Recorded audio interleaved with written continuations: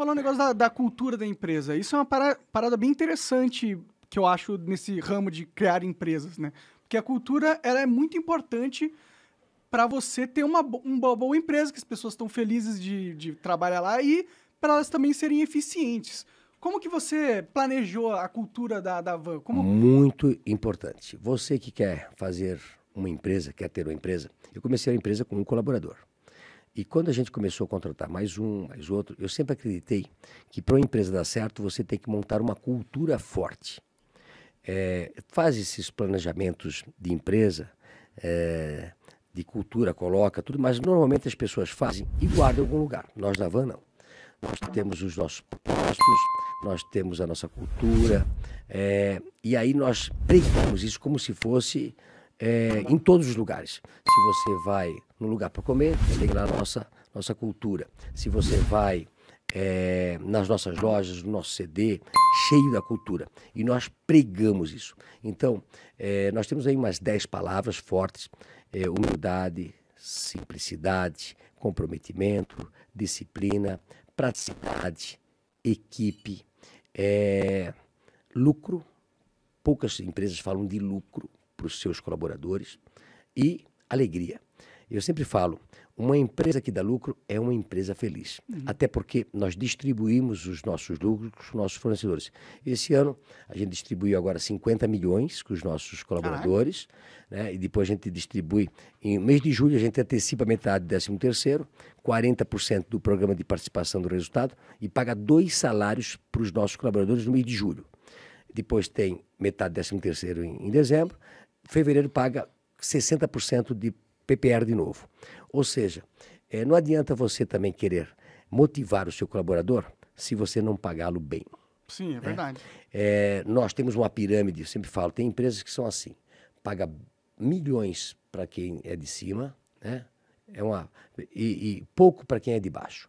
Nós aqui na Van, nós temos o quase que poucas, a gente não ganha muito quem trabalha aqui, mas a gente dá um salário bom para a base. Isso é importante, né? É. Senão... Então você tem mais gente feliz. É, quando você paga um PPR, que é um salário a mais, se o cara ganha 2 mil, ganha 2 mil, se o cara ganha 3 mil, ganha 3 mil, 5 mil, 10 mil, é, e você vê a felicidade estampada no rosto do nosso colaborador. Então, eu falo sempre para eles que sai do meu bolso, vai para o bolso deles, mas eu fico mais feliz do que eles. Quando você visita as nossas empresas, nossas lojas, nossos postos de gasolina, qualquer empresa nossa. É, ah, tem posto de gasolina também? Tem cinco postos de gasolina. Ah, que da hora. É. E, mas a gente coloca no lado das lojas para trazer mais clientes na época. Mas assim, ó, as pessoas ficam felizes trabalhando que, numa empresa que tem ordem, progresso, que tenha disciplina, é, que acredita no, no, no, no colaborador, dando liberdade com responsabilidade, motivando, pagando bem e cobrando. Cobrando as metas, cobrando é, que tudo é, eu sempre falo, as, as pessoas querem uma família estruturada. E quem consegue, com uma cultura forte, montar uma empresa estruturada, a equipe, todo mundo sabendo o que, que tem que fazer, fica muito fácil de tocar. Pode muito crer. Fácil. Eu sei que está na moda, tem um negócio de cultura empresarial que está na moda, que eu não lembro, é uma sigla que tem três coisas, que era tipo era basicamente tipo, pensar no mundo, é sustentar... ISD. ISD, isso. Ah, isso é um modismo agora que está aí. Mas não é, não é bem isso que nós pensamos em fazer. ISD é modismo, né, que você tem que cuidar das coisas e tal. Mas o ISD agora quase quebrou o mundo aí, né? Porque não pode. Tudo, tudo tem que ser sustentável e tal. Mas, por exemplo, tudo que tinha que ser elétrico, mas está faltando petróleo né? porque as pessoas achavam que iria acabar o combustível fóssil e todo mundo iria viver de solar, né? ou de energia elétrica. E na realidade, os preços dispararam por falta de prospecção de petróleo e assim por diante, ou por excesso de consumo. O SD, eu acho que é modismo. Nós colocamos na nossa empresa, nós fizemos tudo o que for possível por ter uma empresa é, estruturada, é, que realmente cuide da natureza, porque muita gente às vezes diz, ah, eu cuido, falam que cuida da natureza não, e abraça uma árvore, né? Abraça uma árvore e cuida da natureza. Eu sempre falo que tem muita gente que fala e não faz. e a grande maioria dos empresários não falam, mas fazem. Né? A nossa energia da Van, grande parte das nossas lojas são abastecidas com as nossas hidrelétricas. Nós fizemos desde 2002. Vocês têm uma hidrelétrica? Tem. Sou sócio de uma. É, é dono de. Agora está acabando quatro sócios de mais quatro agora, tem mais duas, Caralho. quatro, seis, sete, sete empresas, é, que parte delas fornece a energia limpa para a van.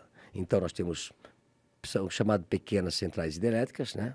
É, que fornece, nós temos no total agora 60, mais 10, mais 10, 70 megas, 70, 80 megas, como se fosse uma cidade de 800 mil pessoas. Caralho, é, é grande, é grande energia. Né? E fornece para nossas empresas. E o impacto ambiental dessas uh, usinas elétricas são baixíssimos. Então, nós produzimos energia limpa. Nós temos uma propriedade que a gente comprou não faz muito tempo, que tem 6,5 milhões de mata. Né? E, então, assim, ó, o empresariado, normalmente, quem trabalha com alimentação, quem trabalha no agro, quem trabalha. O empresário é preocupado na preservação, é, em ter um mundo cada vez melhor. É que a concorrência, que não é aquela que produz alguma coisa, mas ou está no governo, ou aprendeu pelos livros errados, é, sempre fala mal do empresariado e das pessoas que fazem. Mas olha o que tem feito o empresariado brasileiro para realmente continuarmos ter um país como o nosso, que tem 65% da floresta preservada, floresta nativa. Uhum. Não é reflorestamento. Quando tu vai para a Europa, são países pequenos, que são estados brasileiros, é, com uma população enorme. Tu, eu falei sempre da, da Itália. A Itália é do tamanho do Maranhão. O Maranhão tem 5 milhões de habitantes. A Itália tem 65 milhões de habitantes. Tu possa imaginar aquela que pegou mais a natureza ou não. não é? Sim. E as nossas florestas são todas preservadas. E aí, quando você vê a Europa ou a esquerda brasileira ou os ecochatos falando que nós estamos tocando fogo na Amazônia, destruindo as nossas florestas, os nossos rios. É, nesses países, eles não deixam mata ciliar. Né? Aqui no Brasil deixa 20 metros, 30 metros, 50 metros, 100 metros do rio para preservar o rio. Eles consomem tudo, eles, eles constroem em cima dos rios.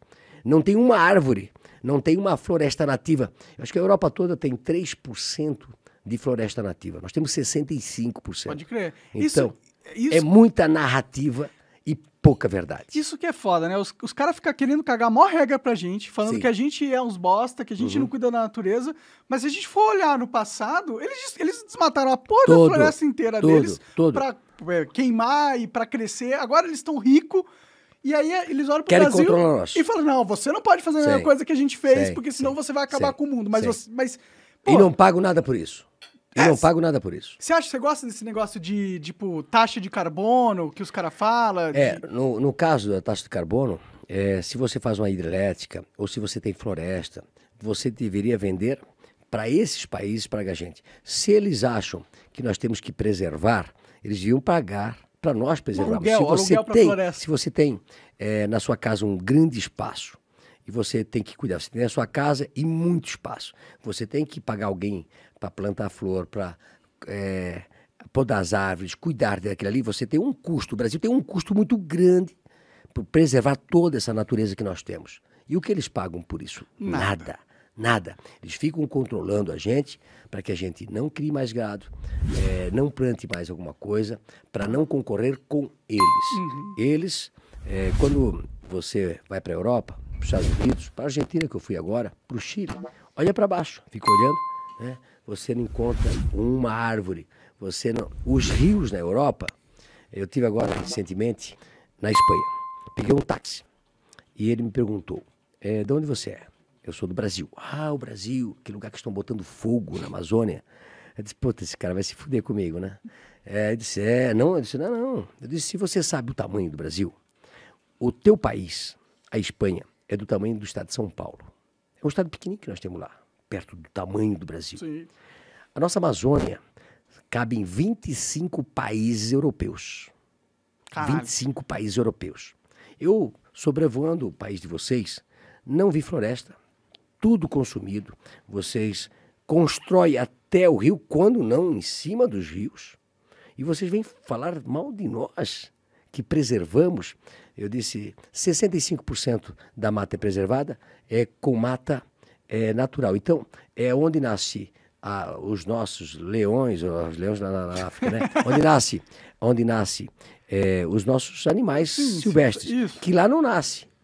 Que lá não nasce. É, tem, tá, é. tem bastante espécies em extinção. Porque esses, esses animais, eles nascem em florestas naturais. Não nascem em florestas reflorestadas. Então, é muita narrativa, pouca verdade. E o Brasil tem que saber, porque se você não pode fazer, de repente, uma marina, se você não pode fazer uma, uma hidrelétrica, se você não pode construir uma loja, se você não pode construir um galpão, é, nós ficamos cada vez mais pobres, é, deixando ar para eles que consumiram tudo estão cada vez mais ricos, vivendo, fazendo leis para nós. A Europa, eu vi recentemente um artigo do J.R. Guzzo, é, a Europa, com 800 milhões de habitantes, faz lei para 4 bilhões de habitantes, que é Brasil, Rússia, Índia e China. É, com a Rússia eles não estão conseguindo fazer muita coisa mais. Né? É, é.